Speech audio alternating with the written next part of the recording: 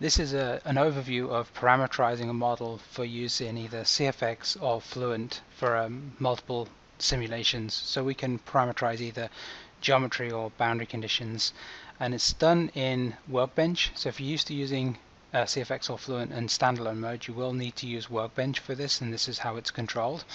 Here I've got a basic CFX simulation set up. Um, I've got the geometry created in SpaceClaim. So if I open up SpaceClaim, we can see the geometry here and we just need to get access to some of the dimensions. Now typically SpaceClaim is non-dimensionalized so we know in our feature tree if we double click on it um, there are no dimensions listed. However we can get access to some uh, dimensions by doing a pull or a move command. So if we click on pull and we come to this cylinder here you see we've got a radius and we can pull it to make it larger and smaller and right next to it is a little P icon and if we click on P it adds that as a parameter. Okay, so if we come over to this uh, feature tree here, if I go to the groups tab, you can see now I've got this one group there, and that's a ruler dimension, and we can change that dimension there. Similarly, I could change the angle of that uh, of a pipe. So I've got a second pipe here, and I'll just show you an example of that. In this case, I'd use the move tool. If I grab this outer cylindrical surface, and I also select the end cap surface, and I just move this um, uh, location anchor to the circle. You can see how that circle is highlighted. If I drop it right on that circle, it'll center that um, triad right in the middle of that circle and I can swing the angle around, for example, and as soon as that dimension comes up, again I get a little P icon and if I click on that, it's added a second parameter in there. Um, I could go ahead and rename those, now I've got two dimensions. So now if I minimize this and go back to my workbench, you can see that it's added in this parameter set. So it's done this automatically and it's created this parameter set. If I double click on that, um, it brings up this dimension.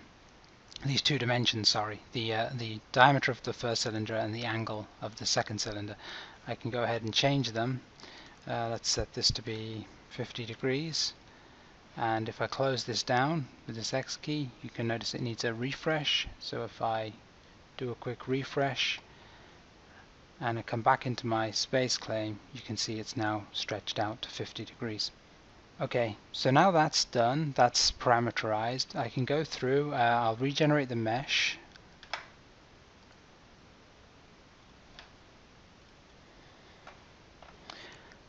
and then I could go ahead and open up the preprocessor uh, and show you the rest of the parameterization.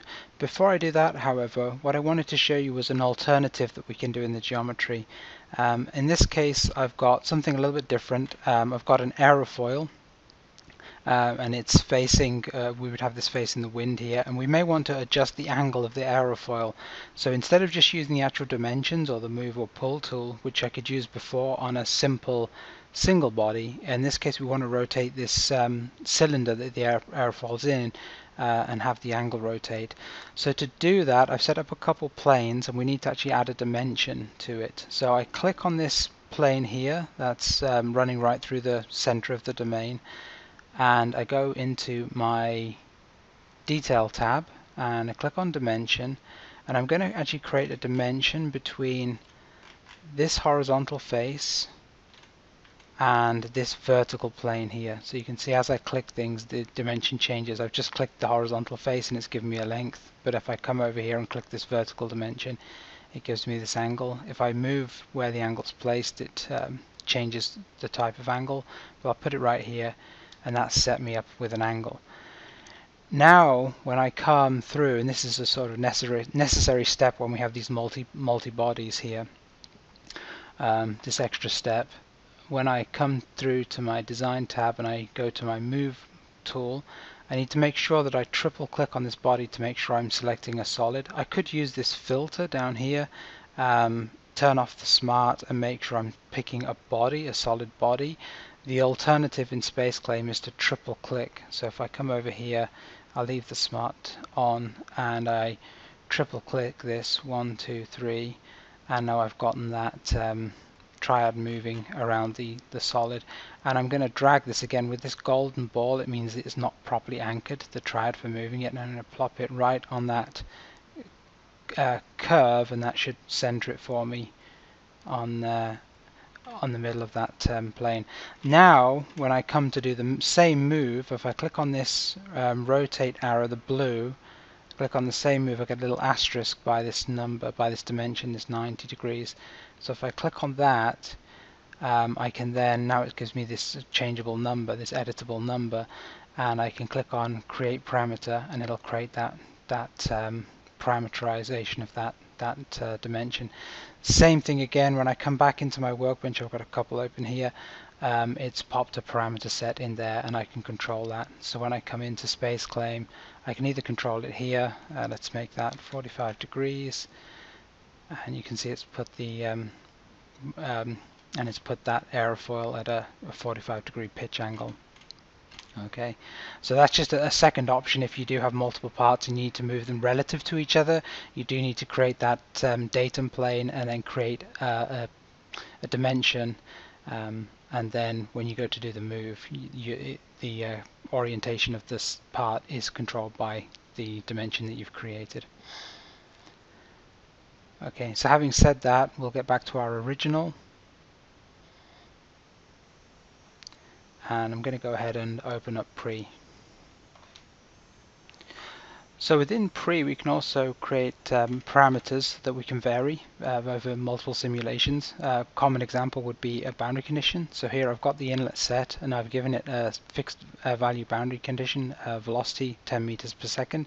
If we wanted to vary that we'd actually have to make an expression. It's easy enough to do. We come under expressions, right mouse button, insert an expression. We'll call it inlet velocity and we'll give it a value 10 meters per second and hit apply and then we simply come over right mouse button and we click this use as workbench input parameter then we have to link this um, expression to the boundary condition so if I come back into my outline go to my inlet boundary condition and the details. I change this um, fixed value input to an expression so I just click on this button here and I can use the right mouse button and pick the expression that I've created.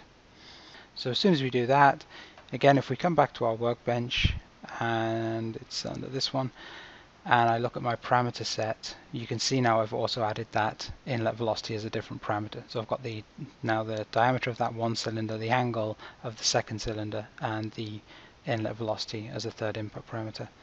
Um, and then similarly uh, in post we also make expressions and we make them outlet parameters so I'll go ahead and show that. I'll shut this down so this was a run already done completed and I've got it in post and again I just come into the expressions hit right mouse button and let's say we want to know what the pressure drop is from inlet to outlet since the velocity at the inlet's fixed and the outlet's set to atmospheric, then the pressure drop is just going to be the pressure value at the inlet. So we can set that. Let's call it pressure drop. And we'll do right mouse button and we can build up our expression with our right mouse button menus. So we're going to do an area average of the pressure. Um, and the variable there is going to be pressure. Again, right mouse button avoids any syntax because expressions are case sensitive and the location is going to be the inlet. So the pressure value at the inlet um, minus zero, which is the pressure value at the outlet relative to atmosphere, is going to be the actual pressure drop. And we set apply and then we come here and we do a right mouse button and here we select use as workbench output parameter. So this is outputting it to our result rather than as an input to control the simulation. So now when we come back into Workbench, we'll shut this down. Um, now we've got a complete loop. We've got our input parameter controlling the simulation, we've got three of them, and we've got an output parameter that we're going to monitor. So again, that's all been automatically created. We didn't have to manually input anything there. And if we double click on this, to simply set up an array of simulations, we just come in, click in here, and we can give this a different radius, or a different diameter, sorry. This we can give a different angle, um, and then we can keep the velocity the same. In this second one we can increase the velocity again, just click on these. We'll keep that at 35 and then we can make, make that 6 for example. Uh, and then simply come up here and we can hit update all design points. One key thing I'm going to point out here is that um, there's an option in column F here to retain the results files. Obviously every time we run a simulation it's going to generate a result file and that can get quite large. so we can have the option of not retaining them. If we're only interested in the pressure drop calculation and we don't really care about looking at the results, then we would leave this checked off and that would minimize how many results files get written out. Um, but if we did want to post-process each individual result file, then we could turn them on, knowing, of course, that this could take a significant amount of disk space. But that's how we would parameterize a simulation in Workbench for CFX. For completeness, uh, the process is exactly the same with Fluent. Um, we can do the same thing in the geometry. In the same way, we can also click on pull, select the cylinder, and we get the P by the side of the dimension. Um, we could do, and again, that creates this driving dimension here automatically. And we could set the angle of this pipe here as well.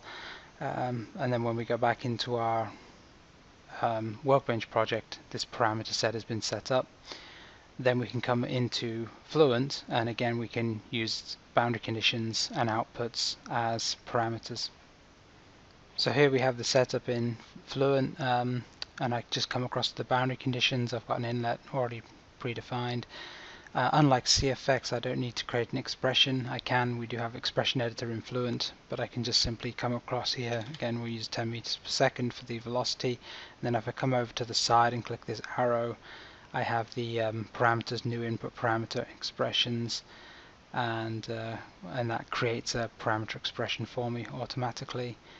And then that's actually managed down here at the bottom on the left hand screen. We have parameters, input parameters. Um, and since we do post-processing directly within the same interface in Fluent rather than going to a separate post-processor like CFX, we can also create an output parameter.